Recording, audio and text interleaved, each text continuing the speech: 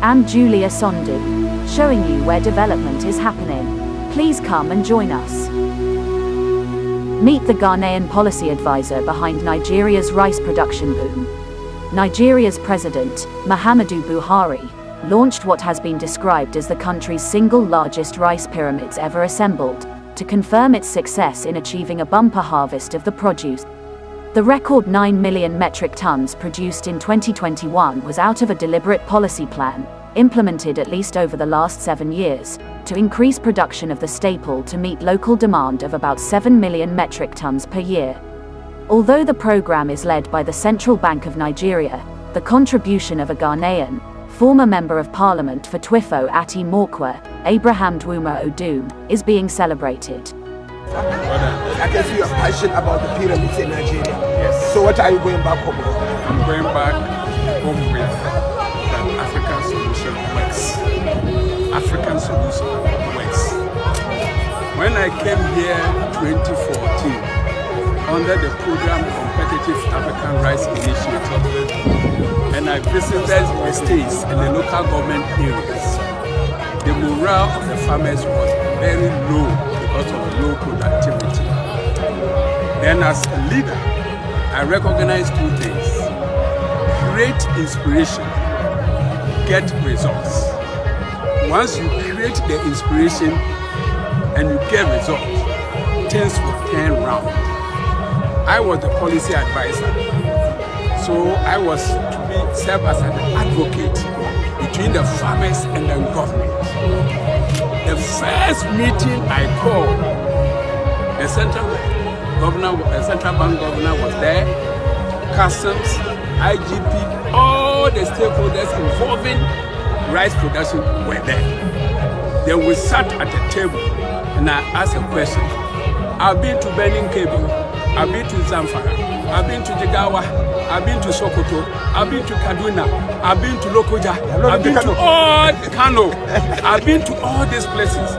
Tell me why Nigeria is important? Tell me.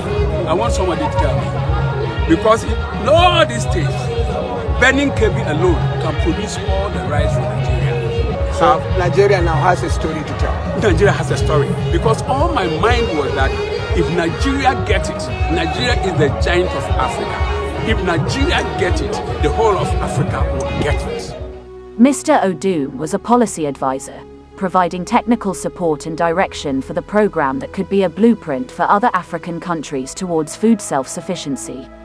Nigeria has demonstrated to the whole world that we have an African solution to an African problem. I know that if Nigeria gets it right, the whole of Africa will get it right too, he told pressmen at the launch of the pyramids in Abuja. Long before becoming a member of Ghana's 7th Parliament, Mr. Odoom in 2014 developed the concept note for achieving rice self sufficiency while serving as policy advisor under the Competitive Africa Rice Initiative in Nigeria. As part of his duty, he toured the various states and local governments known for rice production in the country, took note of the concerns of local rice farmers, and began putting together a formula that will incentivize rice farmers and lead to adequate local production. After forming working groups at the local government, state level, and federal level to champion the cause, he called the first major meeting involving all stakeholders, including the governor of the central bank, Godwin Emefiele, and customs officers, to fashion out a workable solution. One of the major outcomes of that deliberation and the consistent push for rice self sufficiency was the bold decision of the central bank to boost local agricultural production and reverse the country's negative balance of payments on food. The program known as the Anchor Borrowers Program, ABP, provided financing to local farmers in loans through commercial banks and listed rice. Among other products, Nigeria had the capacity for production for is not valid foreign exchange items. Before the program, Nigeria imported 1.3 million metric tons of rice from Thailand alone, but according to Godwin Emefiele, that, however, dropped significantly to only 2,160 metric tons in 2021. When I came here in 2014, I visited the states and the local governments. The morale of the farmers was very low because of low productivity. I recognized that we needed to create inspiration and get results. I was the policy advisor, so I served as an advocate between the farmers and the government, Abraham Dwuma Odoom said in an interaction with pressmen in Abuja. Eight years down the line, he is looking back with pride at the success of little giant steps he took with the local rice farmers in Nigeria that have resulted in the country celebrating its largest rice harvest. The Rice Farmers Association of Nigeria, RIFAN, an umbrella body also born out of Mr. Odoom's work, invited him as a guest of honor for his support and key role in helping them achieve the rice production success to their annual rice festival where the record rice pyramids were displayed. Abraham Dwuma Odoom, a former deputy vice chairperson of Parliament's Agriculture Committee, said he is hoping to share the experience from Nigeria's success with other African countries. Mr. Odoom was once a district chief executive of the Twifo Ati Mokwa district. After four years, he was appointed as Deputy Local Government Minister for two years and subsequently as the Deputy for Health. While serving as DCE, he mobilized resources from a bank, and the readiness of farmers brought in the pilot phase of what became the national mass spraying of cocoa in Ghana, which led to the drastic reduction of pests and diseases on cocoa in Ghana.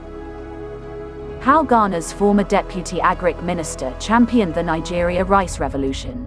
A former deputy minister for agriculture and member of parliament for Twifo Ati Mokwa Abraham Dwuma Odoom has explained how the Nigerian government achieved the strides in rice production. The Nigerian government rice project has been in the news over the past few weeks after videos of huge pyramids constructed with bags of rice surfaced online. In an interview with journalists, Abraham Dwuma Odoom explained that the key stakeholders, including the president, the central bank, governors, farmers, and actors in the value chain, collaborated to make the Nigerian rice industry what it is today.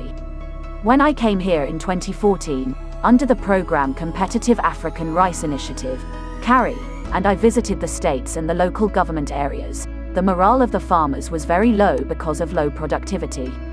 As a leader, I recognized two things create inspiration, get results, he said.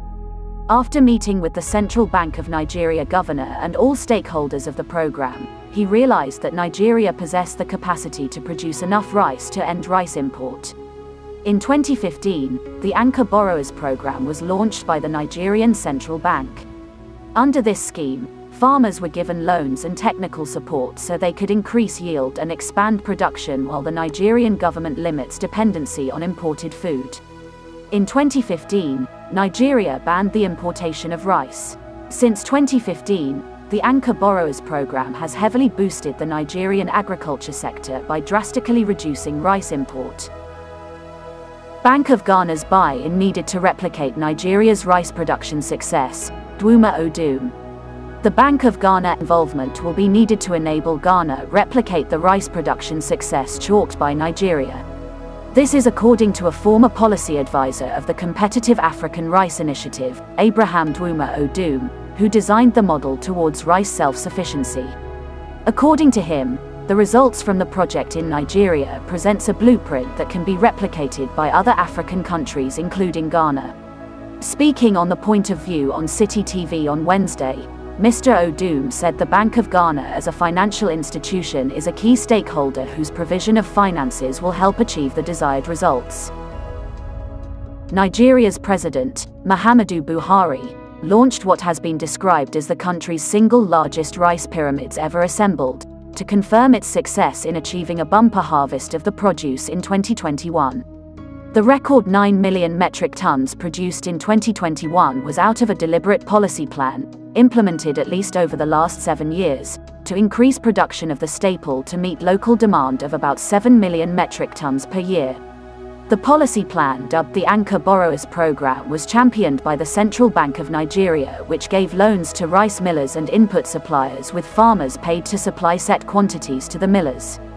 Mr. Dwuma Odoom, a former member of parliament for Twifo Ati who was invited as a special guest for his contribution to the success, told Bernard Avle that mobilizing local farmers and reorienting all the stakeholders involved in the value chain will be a good step towards Ghana achieving a similar success. He said the Bank of Ghana must also be willing to give loans at special rates to millers to enable them lend to farmers to increase their production. Nigeria's template will work for Ghana if we can get the central bank's buy-in. The Bank of Ghana will be able to give loans to the banks to unlend to the farmers at a special rate. The Nigeria rate, for instance, was 9%. You can't take a loan at 35% and be competitive, he said, indicating that the current rates at which banks lend to rice farmers in Ghana was not helpful. He noted that Ghana has more than enough suitable farmlands across the regions for the cultivation of rice. Ghana currently produces about 900,000 tons of rice annually, although consumption is far more than a million tons, and there have been several discussions about increasing local production of the commodity to meet the demands. The deficit gives room for importation of large quantities of rice, which, among other things, increases the country's import bill. This is the end of our program today. See you on Intervlog same time tomorrow. Thanks for watching. Please like and subscribe to my channel and press the bell icon to get new video updates. Thank you for watching Intervlog.